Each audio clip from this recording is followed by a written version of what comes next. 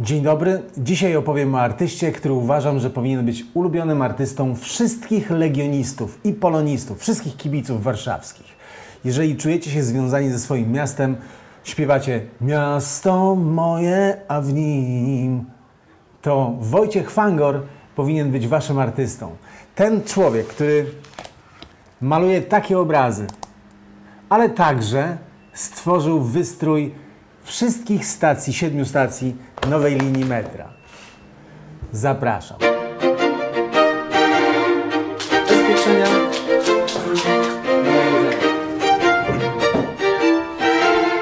Może zacznę od tej wystawy. Otóż poszedłem sobie na nią w niedzielę.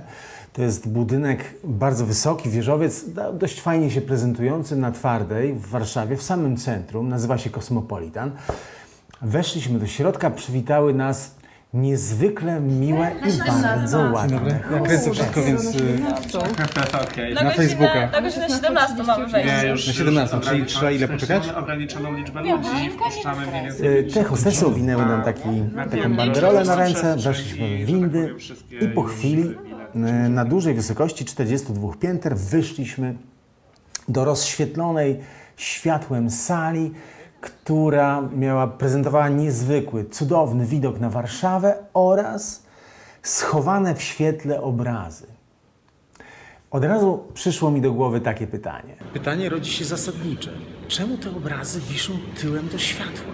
No, porozglądałem się po wystawie trochę. To było 20 prac, y, część dużych, część małych. Między innymi pokazana była ta praca.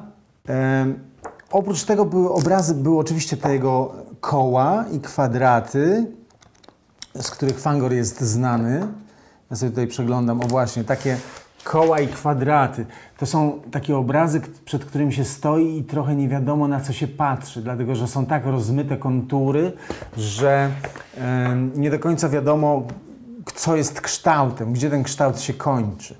To są niewątpliwie obrazy abstrakcyjne, nawiązujące do no w ogóle wystawa nawiązuje do jego y, pierwszej y, słynnej wystawy, Studium Przestrzeni, 56 rok, chyba Warszawa. Wtedy on y, we współpracy z zamiecznikiem, architektem, robią taką wystawę, w której mają nadzieję, że obrazy już nie stanowią osobnej całości, to znaczy coś takiego, inaczej mówiąc, nie jest obrazem per se, czyli E, nie chodzi o to konkretne płótno, tylko o sposób aranżacji tego płótna z przestrzenią wystawy, na której, z przestrzenią wystawy, na której to płótno stoi. I chodzi o korespondencję tych obrazów z innymi obrazami. Taki był pomysł koncepcyjny tej wystawy wtedy w 1956 roku. No i ta wystawa niejako, tak się uważa, dała pomysł innym twórcom do tego, żeby aranżować przestrzenie wystawowe albo inaczej mówiąc, swoimi pracami czy interwencją e, anek- anektować te przestrzenie e, wystawowe po to, żeby tworzyć tak zwaną sztukę environment, czyli otoczenia właśnie.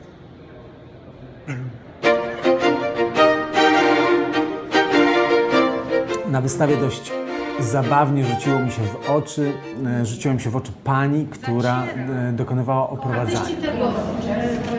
Należący do environment tak Muszę powiedzieć, że tak jak cała ta wystawa, która zorganizowana została przez kolekcję Jankilewicz, to jest Jankilewicz Collection, która zresztą została nabyta od przyjaciół Fangora w Nowym Jorku w całości. Te 20 płócien zostało po prostu hurtowo nabyte przez Jankilewiczów y, tam właśnie w Nowym Jorku i teraz jest pokazywana w Polsce. E, No więc ta wystawa może tak, ma swoje lepsze i słabsze strony. E, Niewątpliwie silną stroną tej wystawy jest w ogóle, że ona funkcjonuje. Drugą silną tej, stroną tej wystawy jest oczywiście przestrzeń, to znaczy to, że można wyjść i spojrzeć na tą gigantyczną panoramę Warszawy. Ale jednocześnie to samo robi się i słabością tego, tej wystawy, gdyż te 20 prac no to nie jest wystawa przekrojowa, to jest po prostu wysta wystawa wycinkowa, jakiegoś fragmentu twórczości Fangora. Tam nie ma bardzo wielu prac znanych, tych na przykład prac telewizyjnych, czy tych jego późniejszych palimpsestów, czy tych jego fantastycznych zupełnie e, obrazów malowanych na samym początku kariery, czyli tych obrazów, prawda? To są obrazy socrealistyczne, które e, on malował pod propagandę e, stalinowską, gdyż Fangor się urodził przed wojną. E, Przeżył wojnę w dość mm, dramatycznych warunkach, ale nie w Warszawie, tylko gdzieś w Tarnobrzegu. No i malował takie obrazy. I ten jego autoportret ewidentnie nawiązuje do Pola Cezana. Zresztą, jak się spojrzy na Pola Cezana, którego akurat tutaj mam pod ręką, na te jego portrety, to ma się wrażenie, że to po prostu są portrety Fangora. Albo odwrotnie, że potem Fangor malował jak Paul Cézanne. A Paul Cézanne to, jak wiadomo, był artysta XIX-wieczny, umarł na samym początku wieku XX, czyli to był jeszcze klasyk, taki powiedz- powiedziałbym e, pomost pomiędzy klasyką malarską XIX wieku, a e, tym wszystkim, co się zdarzyło w wieku XX, czyli tym totalnym szaleństwem, jeżeli chodzi o malarstwo, prawda, tym pójściem w czystą formę, abstrakcję i tak dalej. Zresztą e, Fangor oczywiście jest abstrakcjonistą, prawda? To są, no, trudno powiedzieć, że te obrazy em, to nie jest abstrakcja. To jest abstrakcjonista, natomiast Moim silnym przekonaniem jest to, że abstrakcja jest malarstwem z natury. E, Być może teraz ktoś e, się zdziwi, że tak sądzę, ale ja uważam po prostu, że em, abstrakcje, albo inaczej, idąc za taką myślą Stanisława Lema, powiedział, powiedziałbym tak, wszystko, co zostało wyobrażone, musi istnieć w kosmosie. Jeżeli wyobrażę sobie e, krzesło z pięcioma nogami, no to znaczy, że ono istnieje gdzieś w kosmosie, bo gdyby, inaczej mówiąc, gdyby kosmos, czyli ta natura, gdyby kosmos nie dopuszczał istnienia pięcionogiego krzesła, to ja bym nie mógł go sobie wyobrazić. To jest taka rady, radykalna, powiedziałbym, definicja natury. I teraz ja tak samo uważam, jeżeli chodzi o malarstwo abstrakcyjne. Jeżeli te obrazy są możliwe, to znaczy, że te obrazy są naturalne. I wydaje mi się, że te obrazy powstają po prostu jako rodzaj powidoku na przykład, albo rodzaju e, snu, albo na przykład jak człowiek jest chory i patrzy kątem oka, a gdzieś na poduszce pojawia się kropelka czegoś i na przykład patrzy w tą kropelkę i widzi dziwne rzeczy. Albo kiedy zagląda przez mikroskop i patrzy na te komórki, które się pod mikroskopem poruszają, albo kiedy patrzy w mikroświat. E, Nic dziwnego moim zdaniem, że tego rodzaju malarstwo, czyli malarstwo abstrakcyjne, Wasyli Kandyński, prawda, pierwszy prekursor takiego malarstwa, że to są czasy e, naukowe bardzo. To znaczy, to, jest, to są czasy, kiedy nauka zaczyna odkrywać te swoje różne rzeczy, które nam coraz bardziej wydają się abstrakcyjne, wydają się czystą formą.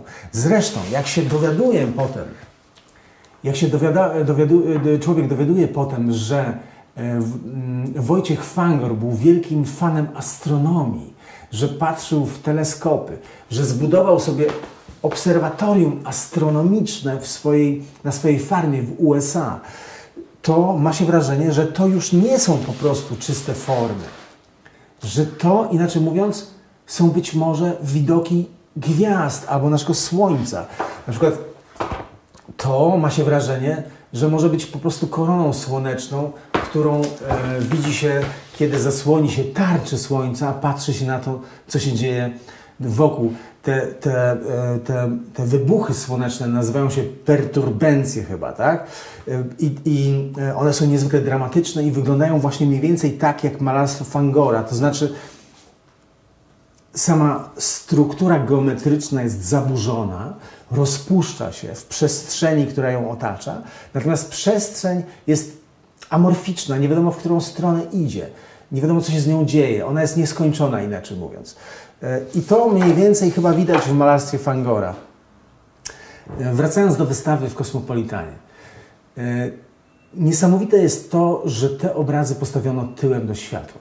Prawdę mówiąc, nie mogę tego do końca pojąć, dlatego że przestrzeń wystawowa była na tyle duża, że można było je odwrócić e, do światła i pokazać widzowi e, je w, no, w pełnym oświetleniu, a nie schowane w tym takim tylnym, natarczywym świetle. Nawet trudno jest robić zdjęcia tym obrazom, gdyż po prostu światło, które idzie z tyłu, uniemożliwia to, gasi, e, gasi przesłony.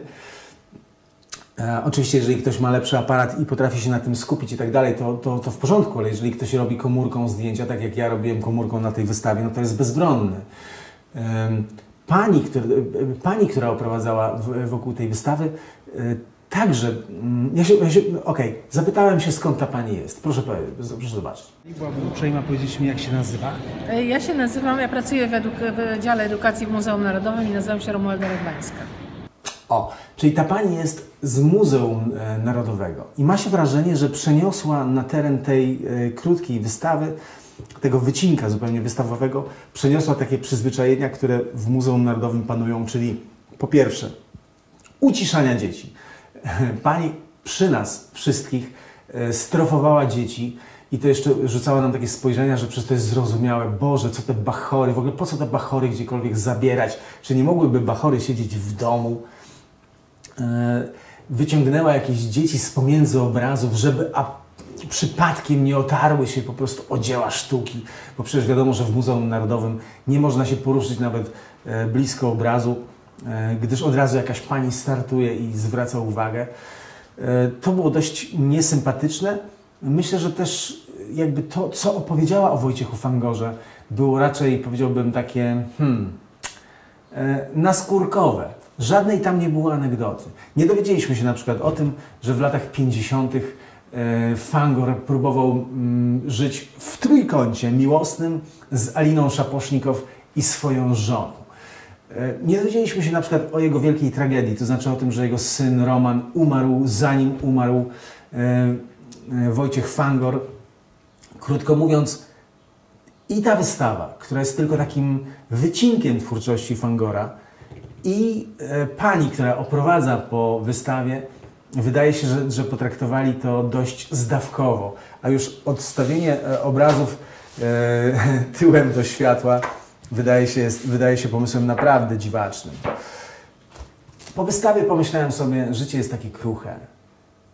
Ta perspektywa na Warszawę jest taka podniebna. Pomyślałem, że pójdę i odwiedzę Wojciecha Fangora na grobie.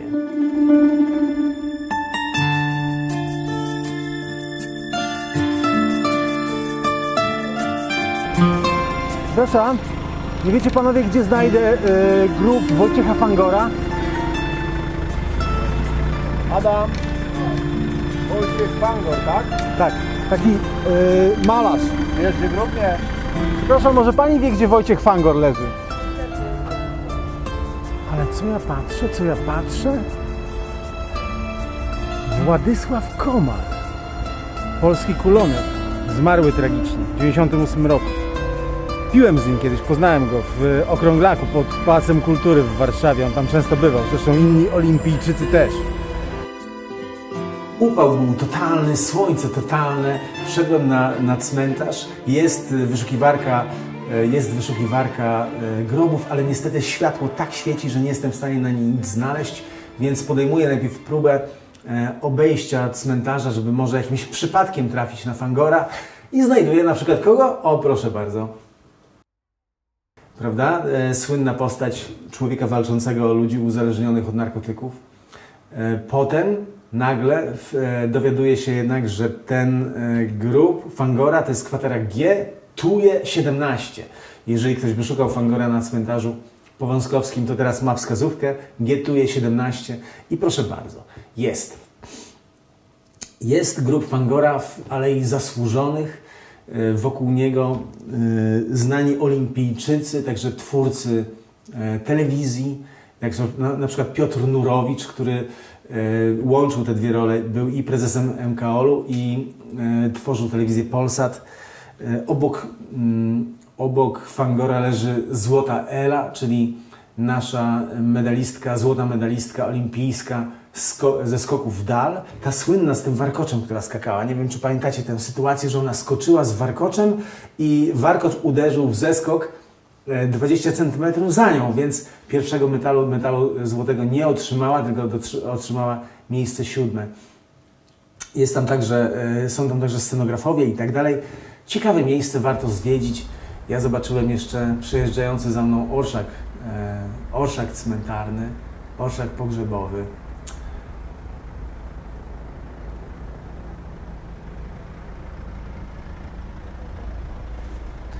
Więc tak, e, podsumowując, Warto pewnie patrzeć na Wojciecha Fangora, gdyż jest to artysta przede wszystkim warszawski. E, To jest dziecko Warszawy, chłopak, który urodził się na ulicy Pankiewicza w Śródmieściu, w bardzo dobrej rodzinie, bogatej. Jeździł przed wojną e, za granicę. Później, e, za okresu stalinowskiego, miał ten okres e, malowania dla propagandy, ale szybko mu to przeszło. Zaczął malować abstrakcje. Był jednym z nowatorów sztuki współczesnej. Także niezwykle pomysłowym człowiekiem, który wymyślił cały trend nie, niejako. E, Trend malarski, czyli E, czyli ten environment, environment oraz op art, czyli y, malarstwo optyczne. E, Oczywiście wśród, obo, obok niego byli także inni, którzy próbowali malować w ten sam sposób, czy w podobny sposób. Tutaj oczywiście przychodzi na myśl od razu Rothko albo Noland. Natomiast warto tu patrzeć, warto patrzeć na te obrazy. Ja mam fa- fantastyczny album, który kupiłem sobie na tej wystawie. Ten album polecam. Wydała go, zdaje się, Agnieszka Dąbrowska, jeżeli, czy, Maria, czy Magdalena Dąbrowska. Już patrzę, żeby się nie pomylić. Magdalena Dąbrowski, która jest Polką, Polką-Amerykanką, znała Fangora jeszcze w latach 60. E, Bardzo fajny tekst napisała na jego temat. E, Warto patrzeć, warto sobie Fangora przypominać. E, Szczególnie, kiedy wsiada się do siódmej linii, znaczy do drugiej linii metra i jedzie na którąś z tych siedmiu stacji. Dziękuję, Rafał Betlejewski. Yo!